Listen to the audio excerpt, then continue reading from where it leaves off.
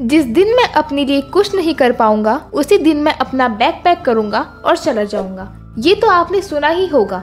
Business world के सबसे नायाब रतन, यानी रतन टाटा सर, नहीं रहे। 9 अक्टूबर 2024 यानी आज उनका निधन हो गया। उनकी मौत की खबर सुनकर आज हम सबकी आँखें नम हैं। इनका नाम किसी पहचान का मोहताज नहीं। इनकी शख्सियत देखें तो वो सिर्फ़ एक बिजनेसमैन ही नहीं, बल्कि एक सादगी से भरे नेक और दरिया दिल इंसान भी थे। तो आज हम आपको रतन टाटा सर की थोड़ी सी स्टोरी बताने वाले है। बात करें इनके जन्म की तो रतन टाटा सर का जन्म 28 दिसंबर 1937 को मुंबई में नवल नवल और सोनू टाटा के घर हुआ था। आपको बता दें रतन जी टाटा जो जमशेद जी टाटा के बेटे थे, उन्होंने नवल टाटा को गोद लिया था। नवल टाटा भी एक सक्सेसफुल बिजनेसमैन थे। जब रतन टाटा 10 साल के थे, तब वे अपने माँ बाप के डाइवोर्स की वजह से अलग हो गए थे और उनकी दादी ने ही उन्हें पाला था। बात करें इनकी पढ़ाई की तो उन्होंने 1962 में कार्नल यूनिवर्सिटी से बैचलर ऑफ़ आर्किटेक्चर की डिग्री ली थी। अपनी पढ़ाई पूरी करने के बाद रतन टाटा सर ने 1962 में टाटा ग्रुप के साथ अपने करियर की शुरुआत की। वे इतने साधारण थे कि टाटा परिवार से होने के बावजूद भी उन्होंने टाटा स्टील के शॉप फ्लोर से काम की शुरुआत की। 1991 में जे आर डी टाटा के बाद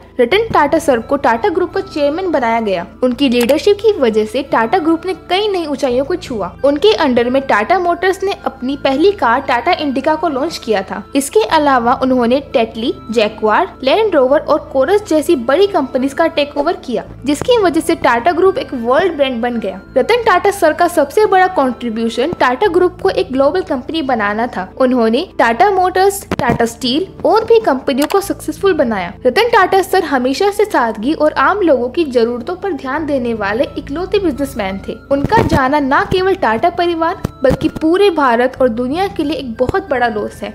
इनका योगदान देश के लिए और इंसानों के लिए कभी नहीं भुलाया जा सकेगा। उनकी लाइफ हर उस इंसान के लिए प्रेरणा है जो बड़े सपने देखता है और उन्हें साकार करना चाहता है।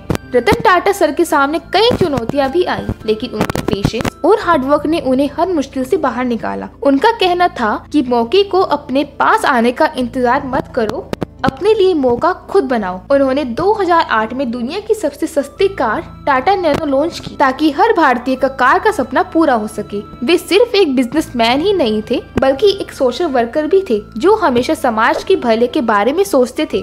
उन्होंने समाज सेवा, शिक्षा और स्वास्थ्य के क्षेत्र में कई कंट्रीब्यूशन किया। 2012 में रतन टाटा सर ने टाटा ग्रुप के चेयरमैन पद से रिटायरमेंट ले लिया, लेकिन वो हमेशा एक्टिव रहे, चाहे वो स्टार्टअप में निवेश हो या समाज सेवा का काम उनकी सादगी, ईमानदारी और दयालुता ने उन्हें एक ऐसा व्यक्ति बनाया जिसे लोग दिल से सम्मान देते हैं। इसके अलावा उन्हें जानवरों से खास तौर पर स्ट्रीट डॉग से काफ़ी लगाव था।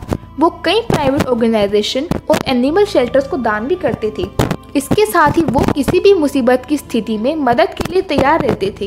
फिर चाहे वो मुंबई छब्बीस ग्यारह अटैक हो या फिर कोरोना जैसी महामारी हो रतन टाटा सर की डेथ से भारत ने आज एक महान व्यक्ति खो दिया। लेकिन उनकी विरासत हमेशा ज़िंदा रहेगी। उनका योगदान, उनके सिद्धांत और उनकी सोच हमेशा लोगों को प्रेरित करती रहेंगी। रतन टाटा सर हमें ये सिखा कर गए हैं कि एक सच्चा लीडर वही होता है जो न सिर्फ़ अपने बिज़नेस के लिए, बल्कि समाज के लिए भी काम करता है। उनकी सोच और उनके काम ने न जाने कितने लोगों की ज़िंदगी को बेहतर बनाया है। वो हमेशा हमारे दिलों में ज़िंदा रहेंगे। आखिरी में मैं बस एक बात कहना चाहूँगी कि जिन्हें हम खो देते हैं, कि जिन्हें हम खो देते हैं, वो सितारे बनकर हमेशा आसमान में चमकते हैं। हम उनकी आत्मा की शांति के लिए प्रार्थना करते हैं। दोस्तों, अगर आपको रतन टाटा सर की ये प्रेरणादायक कहानी पसंद आई हो तो हमारे चैनल इग्नोर ज्ञान को सब्सक्राइब करें और इस वीडियो को लाइक और शेयर ज़रूर करें। धन्यवाद।